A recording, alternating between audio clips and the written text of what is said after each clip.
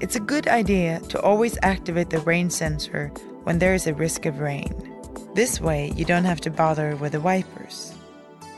There's even a symbol in the main instrument panel that makes it easy to see if it's on or off.